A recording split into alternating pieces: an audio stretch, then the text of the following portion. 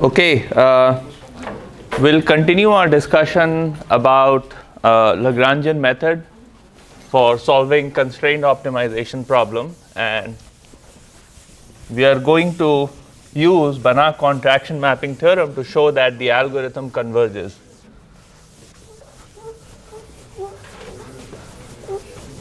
I hope the lecture on contraction mapping wasn't too much for most of you.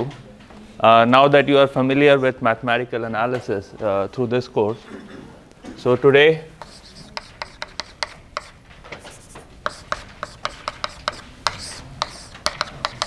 we are going to study this algorithm xk lambda k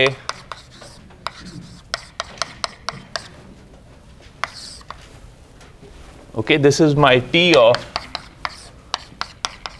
xk lambda k.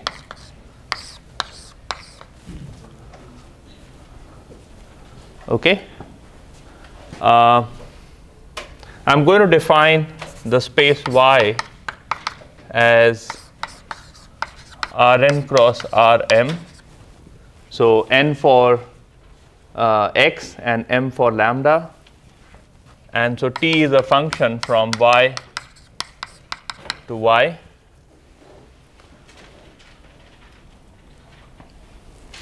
What I'm going to show is that under some conditions, uh, let me just write down the conditions. What I'm going to prove is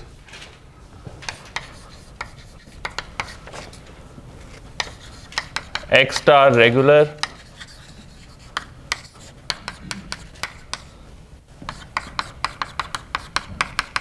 Uh, the second derivative of Lagrangian is positive definite. Eta is small. Together implies that T eta. Let me let me index T with eta because eta is used as the step size. So T eta is a contraction in a ball around x star lambda star.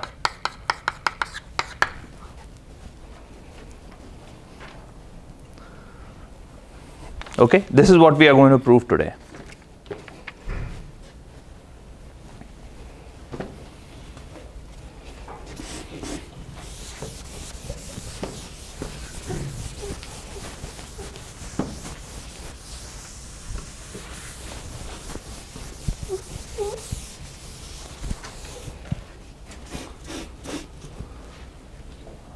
Any questions so far? So one thing you will notice is that this condition is very strong because we have always assumed that Lagrangian would be positive definite only along the first order feasible directions, but here uh, we require the second derivative of Lagrangian to be positive definite everywhere along all directions, not just along the first order feasible directions. So we'll relax this assumption uh, later in the class today. But to begin with, let's just assume that this is positive definite.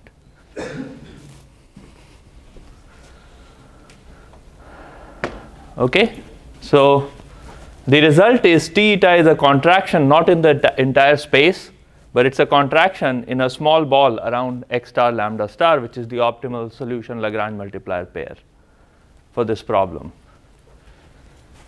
Uh, t eta. Okay. Uh, so what does the fixed point of t look like? So t eta of x star lambda star will be equal to x star lambda star. This would imply that my gradient of xl at x star lambda star, actually this is the fixed point. So this would be equal to 0 and h of x star will be equal to 0. So the fixed point of t eta would be uh, the point that satisfies the first order necessary condition for optimality.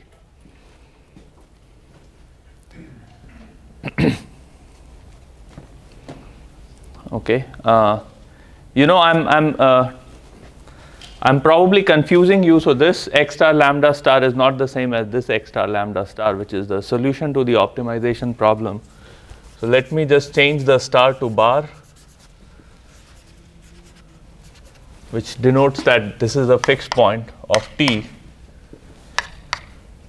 And what I want to show is that any fixed point of t eta would satisfy the first order necessary condition for optimality.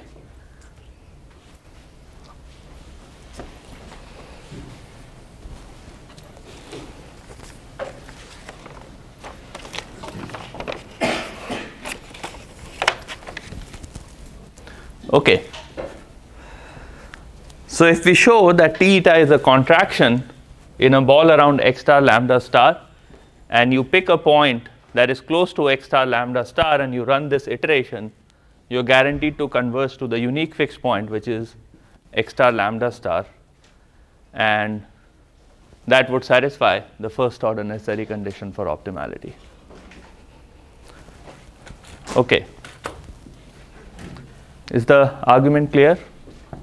So now all we need to show is that this is a contraction under this assumption. So let's do that.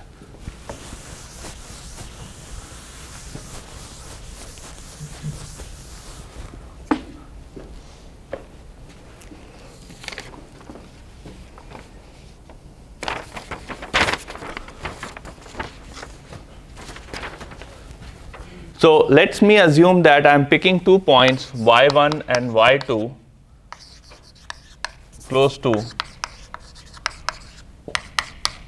x star lambda star, then this is, and then I want to find t of y1 minus t of y2.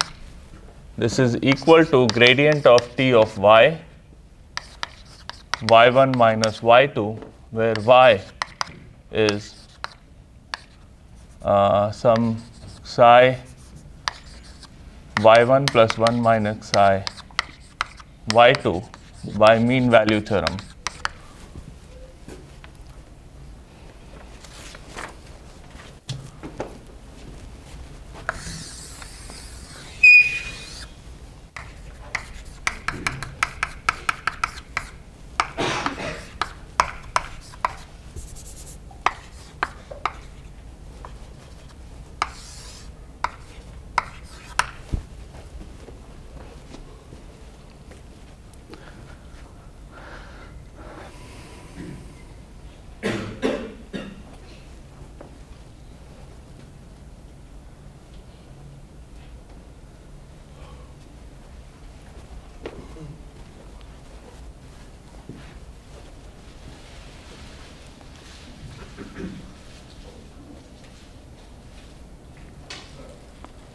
Okay.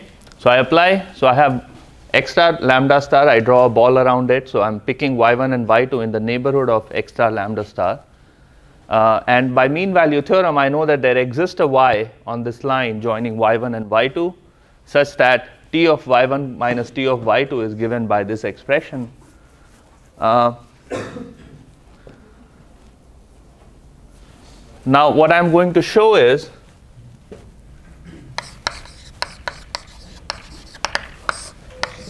rho of gradient of t at x star lambda star is strictly less than 1 or I'm I have to carry eta everywhere so please remind me if I'm removing eta.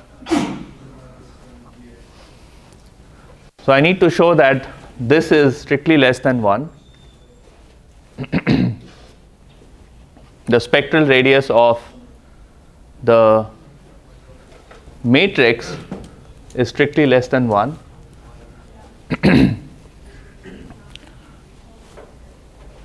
what would happen if this is true?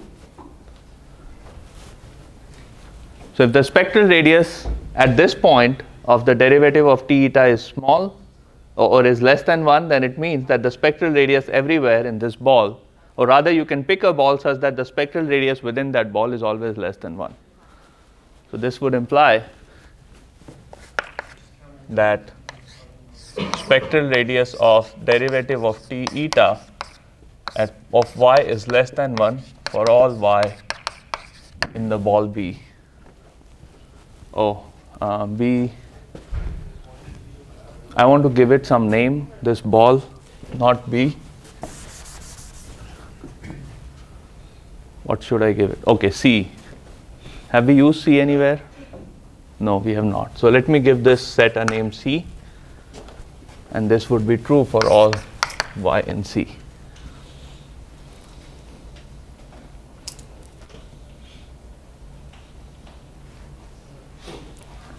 Okay.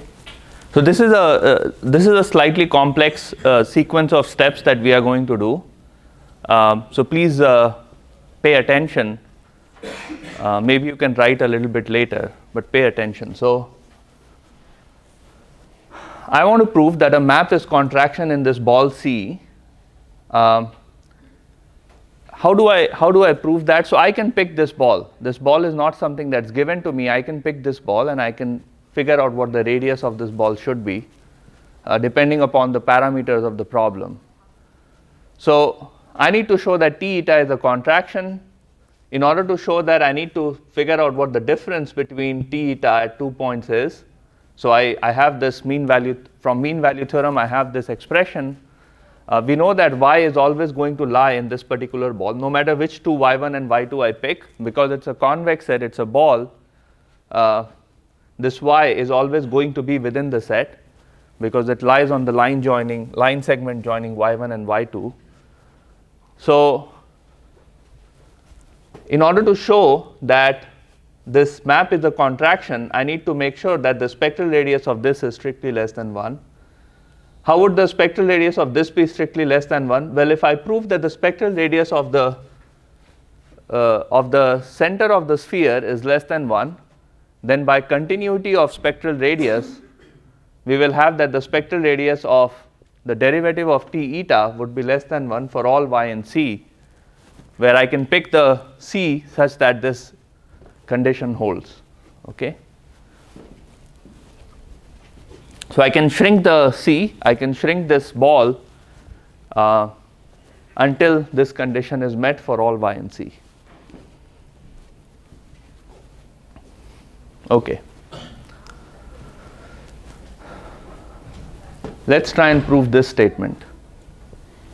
Okay. Oh, um, before we prove this statement, what would this imply? This imply that there exists a norm on Rn, Rn cross Rm, such that norm of t y1 minus t y2 is less than equal to rho of gradient of t eta y plus or t eta x star comma y star plus epsilon no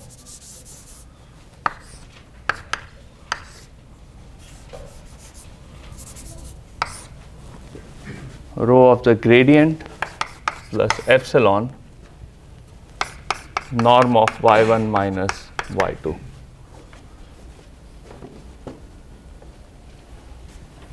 And this epsilon can be picked arbitrarily small.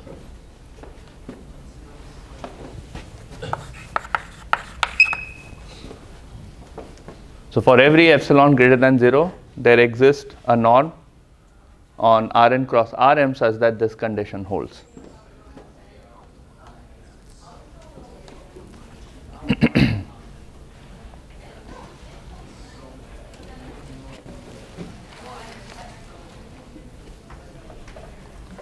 Okay, any question?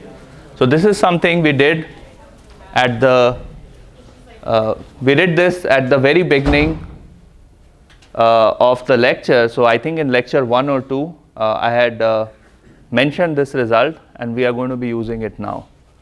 So what was the result? If A, the result that I had mentioned, I think in lecture 2 perhaps, so spectral radius of a matrix A is less than 1 implies there exists for every epsilon greater than 0, there exists a norm such that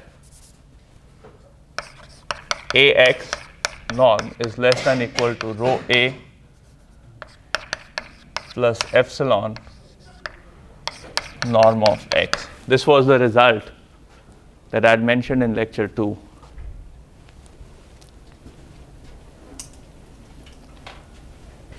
And it's there in appendix. The result is there in appendix, but the proof is not. I don't know where you can find the proof of this statement. I myself haven't uh, done the proof of this statement, but I believe Bertsekas, so I assume that this is correct. okay. Uh, I haven't found the proof yet. That's just because I've never searched for one. Uh, okay. So this is exactly what I'm using here. Uh, for uh, I'm using mean value theorem. Um, from this particular uh, statement, which I can prove, I'm concluding this, and from this I'm able to show that T eta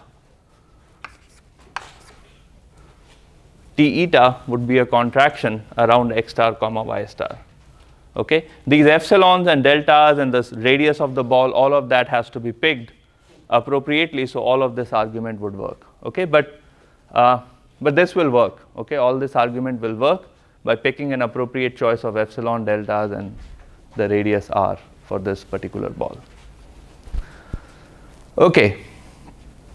So now the fact that t eta is a contraction just hinges upon the fact that I need to prove this spectral radius of gradient of t eta is less than 1. Yes? How do you define the set C? Sorry, I didn't understand. The set C uh, in which uh, y is? Oh, the set C? Yes. Okay, so how will you define this set? Okay, so let's say this is true. Okay, I can pick an epsilon sufficiently small such that this rho will always be strictly less than. Uh, okay. Okay, I think I think let's just do it. Uh, so let me pick epsilon equals to 1 minus rho gradient of t eta x star y star over 2. Um, okay. Then I pick C such that rho of gradient t eta y is less than 1 minus f. Uh, let me pick it 3. So I need to pick C such that this is 1 minus 2 epsilon over 3. Uh, so pick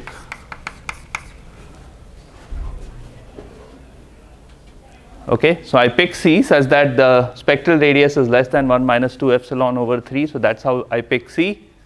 And then i pick the norm.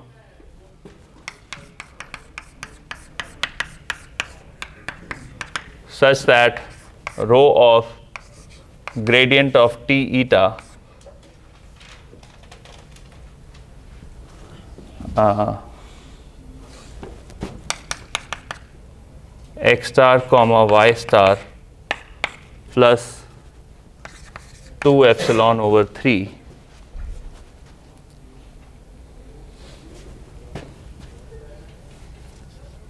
such that let me call this alpha. So I'm going to pick the norm such that alpha is equal to rho of gradient t of x star y star plus 2 epsilon over 3. Oh, no, not 2 epsilon over 3, just 2 epsilon.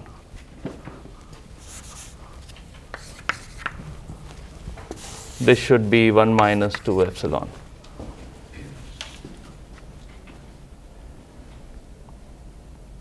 Now let's see if it is going to work. So this epsilon is strictly positive. Uh,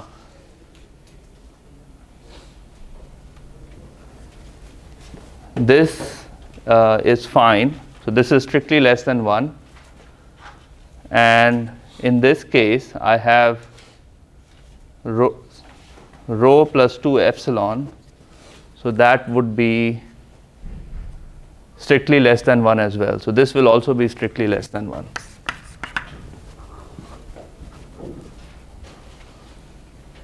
Okay, so this is less than 1 and this is also less than 1.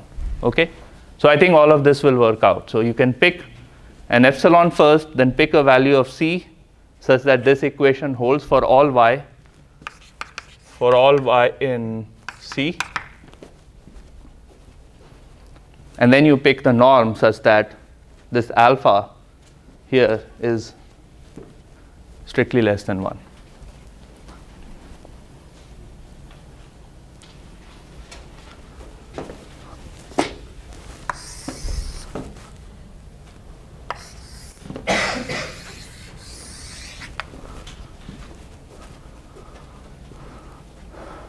Okay, so hopefully you are convinced that by appropriate choices of epsilon, c, and the norm, you can get this whole sequence of steps to work.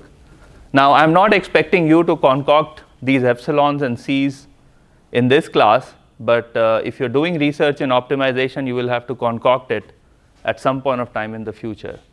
And the way to learn how to pick these epsilons and norms is to take real analysis 1 and 2 which again I don't expect any of you to take or most of you to take, but of course some of you will take it in the future.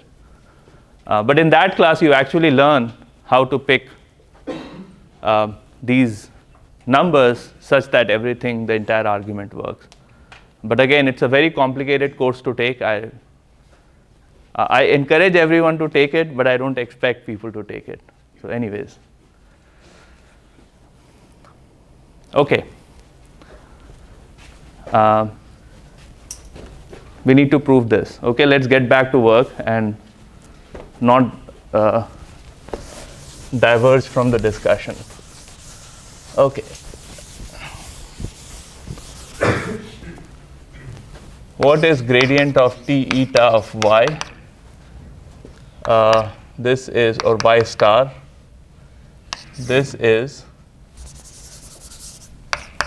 i minus eta b, where b is given by L gradient of H minus gradient of H transpose and 0. Yeah.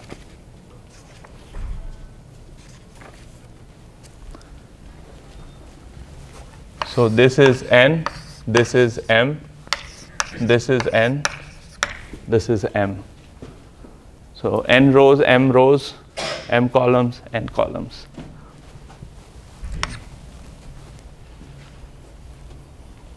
Okay? What do we know about this matrix? B? Oh, this is all evaluated at x star comma lambda star.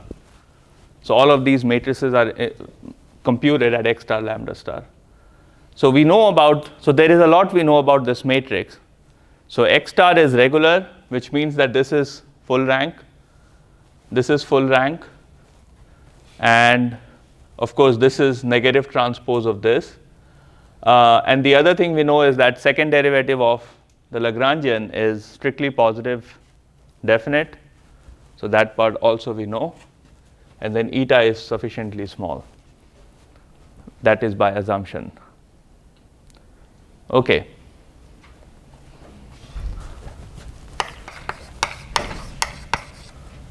To show gradient of t eta, the spectral radius is less than 1, we need to show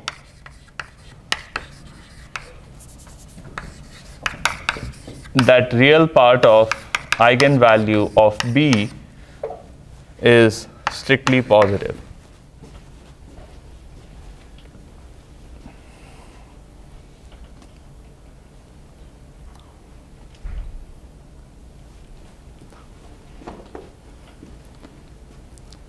Okay. So this is what we need to show now. Once we show this, I will identify a value of eta such that this is this holds true. Cool. So, so let's get back to this expression. So I want to show that real part of eigenvalues of B is strictly positive. So let beta be the be an eigenvalue and zw be the eigenvector.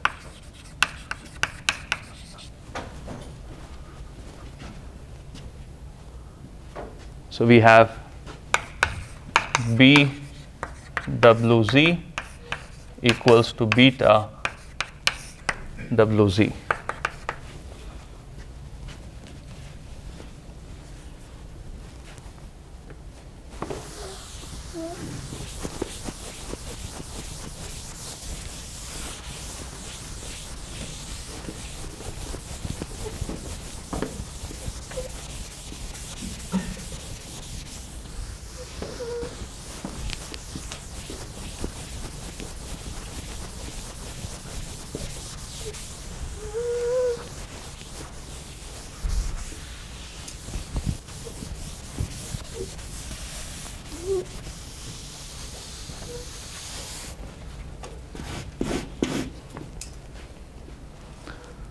Okay, any questions so far? Now, one thing to note is this B is not a symmetric matrix. That's because this is minus gradient of H transpose. If it was gradient of H transpose, there was no negative sign, then this is a symmetric matrix, but in this case, it's not.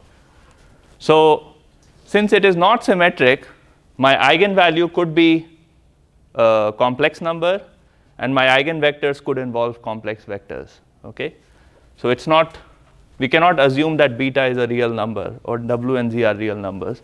So these could be complex numbers. So the first thing I want to show is that if Z is equal to 0, then W will be equal to 0, which implies that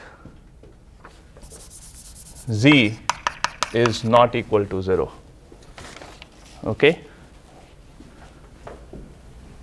Why? Because if z is equal to 0 then w is equal to 0 and then this is not an eigenvector right? An eigenvector has to be non-zero. So z must be non-zero. Um, so let's let's prove that.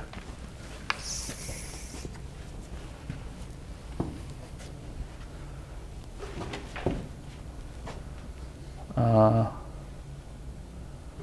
how about I name this as B11, B12, B21, and this is of course 0. So B22 is equal to 0. So I have B11 W plus uh,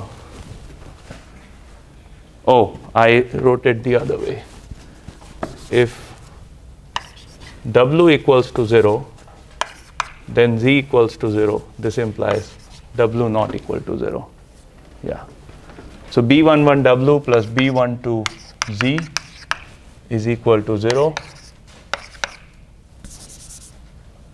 and minus b12 transpose w is equal to 0.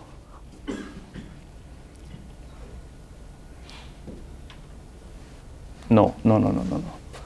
Wait. Uh, this is equal to beta times W. This is equal to beta times Z. Okay.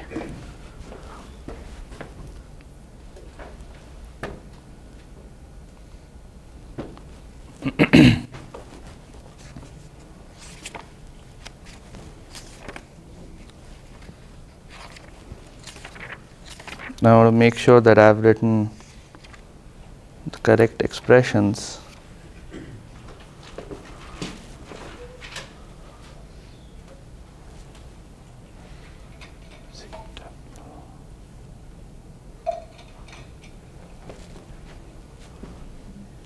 Okay.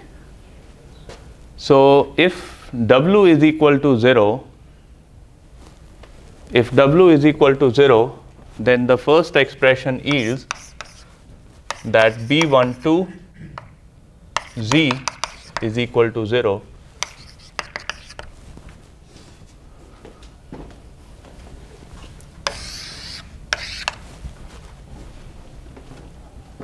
Okay. So my hypothesis is if W is equal to 0, then I need to prove that Z is equal to 0. Now can I conclude from here that Z is equal to 0? Yes, Why? because B12 is full rank. Yeah, so B12 is full rank.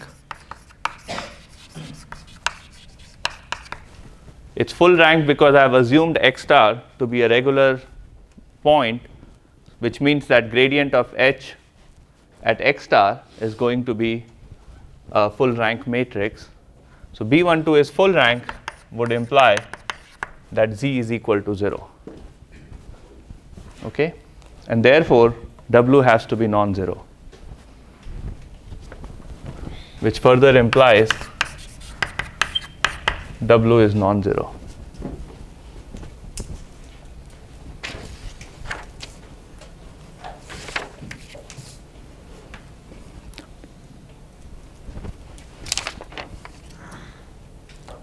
Okay?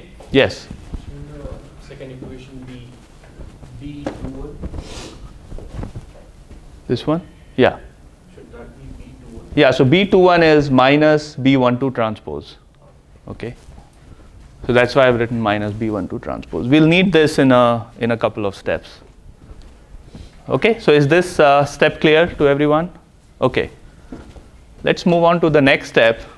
The second expression is real part of W star transpose. So W star is complex conjugate. Um, everyone knows what a complex conjugate is? Okay, good. uh, then I'm going to multiply it by B11 and then W and that should be strictly positive.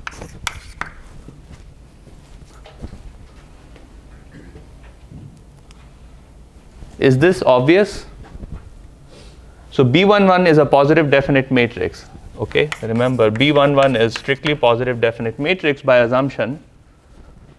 So is it obvious that a vector transpose B11 and the vector has to be strictly positive? Is that obvious? No? Okay, so let's prove this. So the real part of this uh, value is going to be a strictly positive number. Uh, let me decompose W into A plus IB. Uh, so this is the electrical engineering department. We usually use J for complex numbers. Okay, so um, I hope no one will get confused if I use J here. So J is minus 1 square root. Okay, A, A and B are real vectors. A is in Rn and B is in Rn. Okay, so W star A minus JB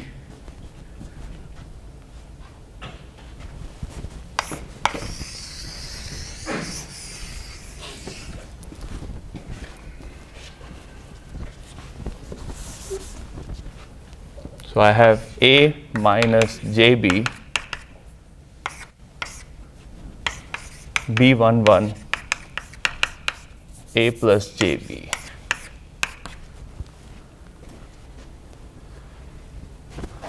This is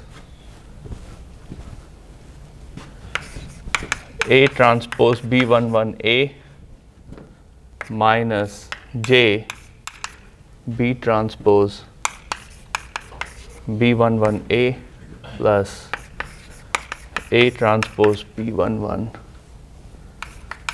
JB plus B transpose B11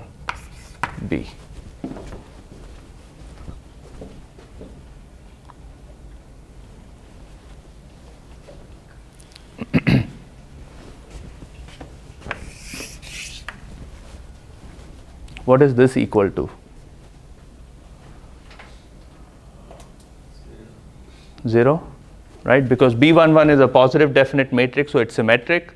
And this is B transpose B11A, this is A transpose B11 transpose B. So these two are the same number, so it's equal to 0. What about this value? A transpose B11A, strictly positive because B11 is positive definite. B transpose B11B. So this is strictly positive.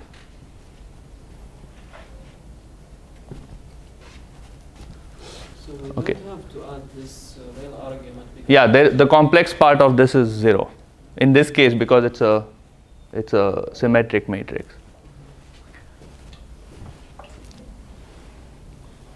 Okay. Any questions so far? So we have proved two results so far. First is that W is non-zero. The second is uh, W is non-zero implies that A and B, so at least one of them is non-zero. If at least one of them is non-zero, then this must be strictly positive. So that yields the second expression. Okay. I'm going to erase most of it now.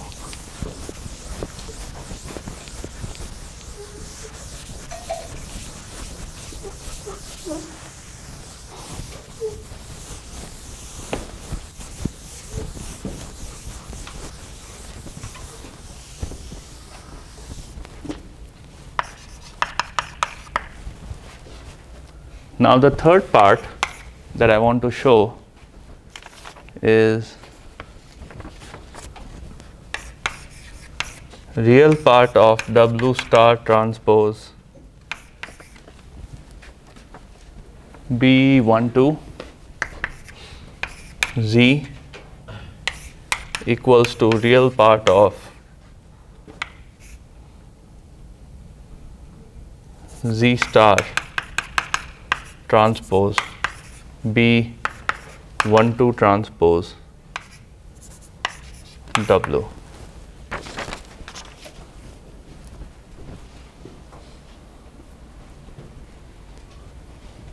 Okay. Uh, let me just uh, make this an exercise. Not a difficult thing to prove, but it can be proved. Okay, so the real part of these two matrices, or not, it's not a matrix, it's actually a, a, a, a scalar. So real part of the scalars are going to be the same for these two uh, matrices. Let me leave this as an exercise.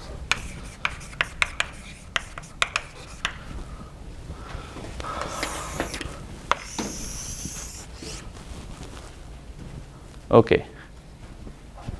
Now we can prove this statement. Let's consider Z W star Z star transpose B W star no WZ this is equal to real part of beta norm of w square plus norm of z square. And this is also equal to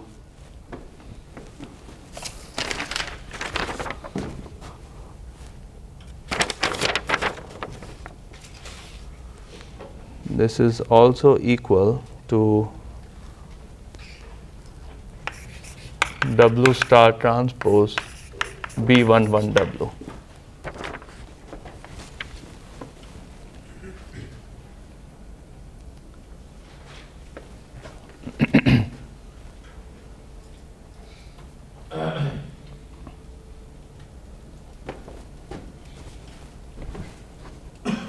oh, I need to put real here. Real this is of course a real number and this is a real number.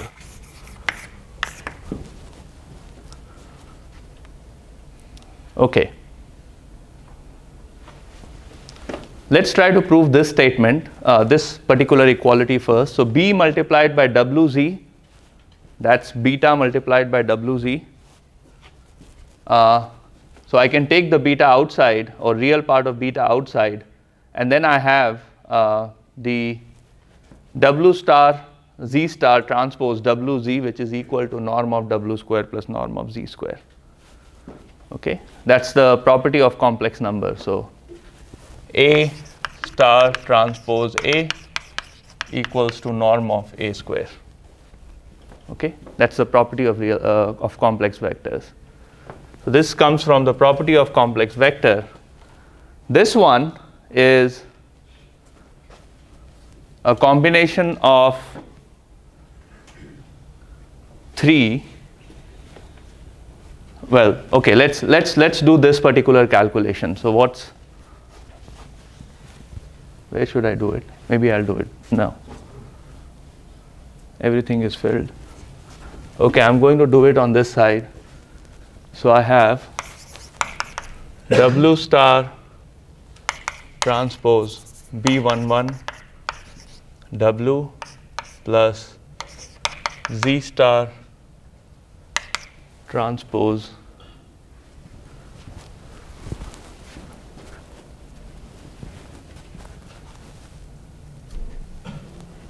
wait. Ah, minus, no, not minus, but B21 W plus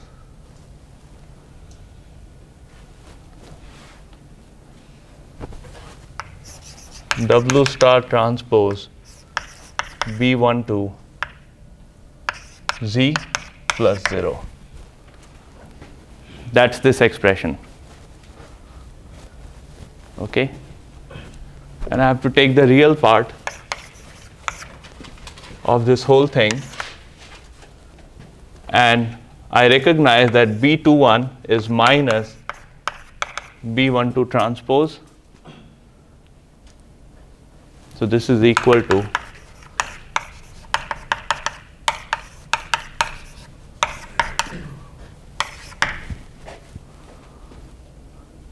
So this is minus B12 transpose. So I have Z star transpose B12 transpose W with a negative sign and then plus this whole thing, which as we have shown here, they are equal. The real parts are equal. So they'll cancel each other out. So I'm left with only W star transpose B11W, which is what I write here. Okay, I'm going to pause here for questions.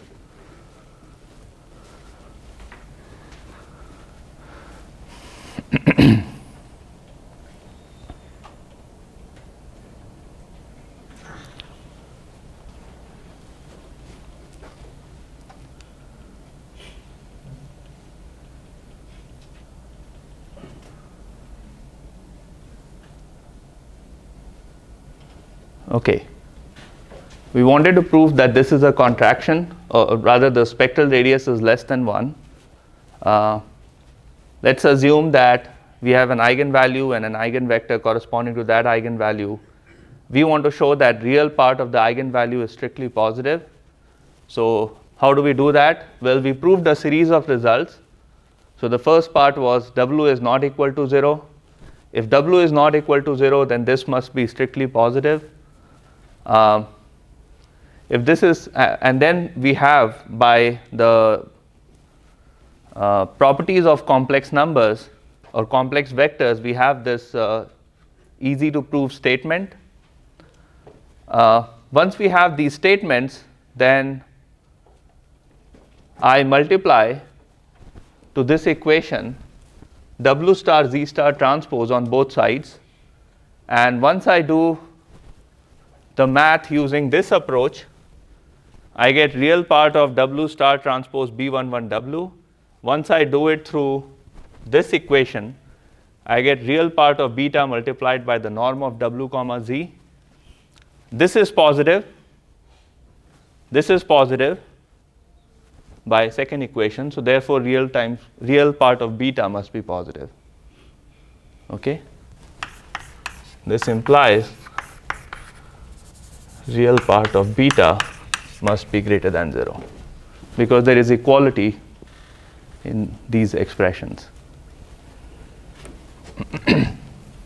so somehow we needed to have this uh, eigenvector in all the equations in order to prove that real part of beta is strictly positive. Yes? So B is a complex matrix? Uh, no, B is a real matrix. So if you're taking a complex continuum, I think someone said, why, why do we need the real, take the real part of it, wouldn't that be redundant? This one? Yeah. This one is automatically real, but we are just taking real part. Um, I mean, this matrix is real, so we don't need to take the real. I mean, the real part is equal to the matrix itself. There's no. Okay, so Yeah. why, I mean, because we are using real here in this expression, so we want to make sure that real carries over to all the places. So now we have proved that the real part of the eigenvalue of the matrix is positive, how can we prove that it, the spectrum Contraction? radius- yeah, not the spectrum. Yeah, so now I'm getting to that. Okay? So at this point of time, all of us agree that all the eigenvalues of this matrix B will have strictly positive real part. Now, let's pick a value of eta that is sufficiently small. Then, let me erase this side.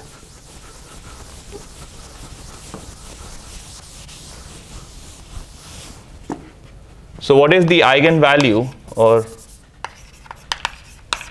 1 identity minus eta b? This is 1 minus eta beta 1, 1 minus eta beta n, uh, or n plus m.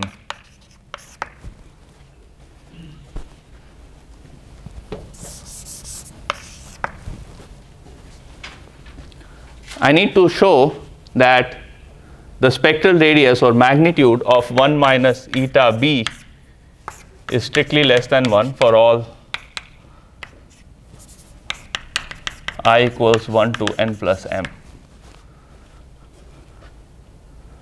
Okay, so all of you are familiar with this. If you add an identity, if you scale a matrix and add an identity, then the eigenvalues is scaled eigenvalue plus the plus number 1. So, uh, so I need to show that if all the eigenvalues or all the real part of betas are strictly positive, then 1 minus eta beta i is strictly less than 1 for all i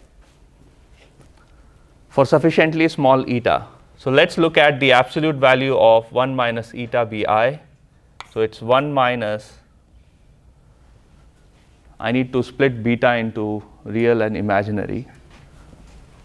So let me consider beta. What should I use? C plus ID? No, I, have I used C? Yes, I have used C for the set. Let me just use C plus I, C plus J D. So 1 minus C, eta C plus J, no, minus J eta D, absolute value.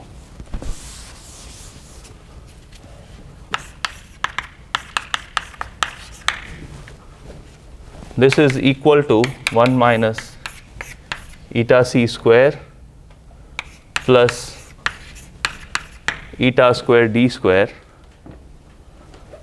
which is equal to 1 minus 2 eta c plus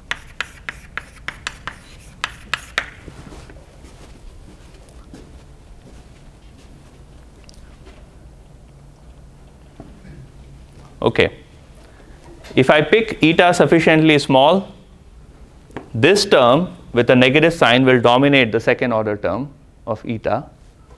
And therefore, by picking eta sufficiently small, I can make sure that all these inequalities are satisfied.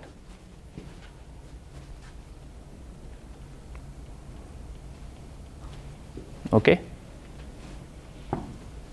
So I can pick eta very, very small so that all these inequalities are satisfied. And that's because this term is going to dominate this term for values of eta small.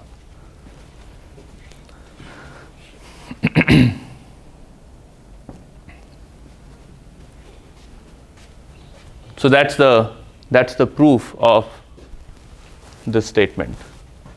So I can pick eta sufficiently small so that the rho of this matrix is less than 1 and if it is less than 1 then it's a contraction in a ball around x star lambda star. If it is a contraction you run this iteration it will converge to x star lambda star.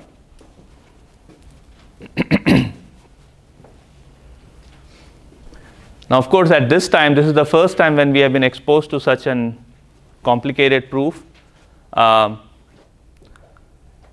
but it tells you the power of contraction mapping theorem, wherein all you need to prove is that the derivative of a function at a specific point has spectral radius less than 1. If you can prove that, then immediately you conclude that around that particular point the map is a contraction map. And so, uh, iterative application of that map will converge to that particular point. Okay. Any questions? Yes. Is small is bit vague. Uh, you want an exact value of eta? You'll have to look at this expression. So let's uh, let me pick eta to be 1 over